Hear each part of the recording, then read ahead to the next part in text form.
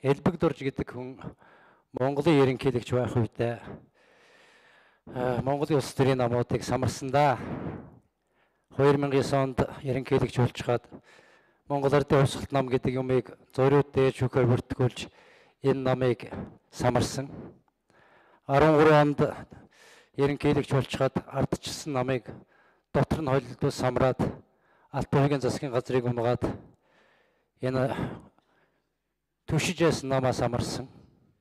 Энээс шалтгаалаад арчилсан намынхын бие биенээ харж чадхан байсан. 13 оноос нь манай намд их хүнд хэлбэрээр орж ирсэн. Тэр явсаар байгаа л өнөөдрийн байдалд хүргэж байгаа шүү дээ. Нэгдүгээрт хийсэн юм энэ улс төрийн үйлдэл. Хоёрдугаарт энэ хүний үед энэ Монголын хууль хяналтын байгууллагад захиалгат хүмүүсийг томилж Монголын хууль хяналтын байгууллага улс төрийн цагдаа болсон шүү дээ эсрэг ирсэн хүнийг барьж хордог. Удаан хугацаагаар хорж ягаад гаргаж тавьдаг. Ямар ч хариуцлага тооцдоггүй. Шоронд хүн хоригдож байгаад өгсөн. Өнөөдөр хүртэл эн чинь салахгүй шүү дээ.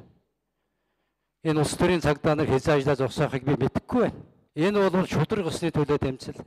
Энэ бүлэглэлийн эсрэг тэмцэл. Энэ мафиозсан олигарх системийн эсрэг тэмцэл тэмцэл юм шүү одоо байтлаг эмгэг хүнийг аваачаад нууц хурлаар хорчдөг боллоо. Энийг болоод болуулаад өгөөч гэж өчнөө гуйсан. Гуйсан байхгүй. Энэ бол энэ бүхний эсрэг ийм байдлаас гарыг гэсэн энэ манангаас салъя гэсэн хүмүүсийн үйлдэл гэж би ойлгож байгаамаа.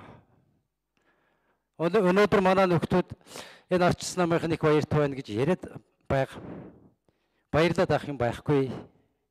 Бид энэ элбэг дурж гэдэг хүний олон жилийн залжин үйлдэлд Монголын улс төр гэдэг юм байхгүй болсон. Хууль хяналт гэдэг юм байхгүй болсон. Шудраг ёс гэдэг юм байхгүй болсон. Энэ элбэг дурж гэдэг хүний хороос Монголын төр хэзээ холдох юм бол та. Энэ хорыг таалахгүйгээр Монголын төр цаашаа явах та хэцүү шүү.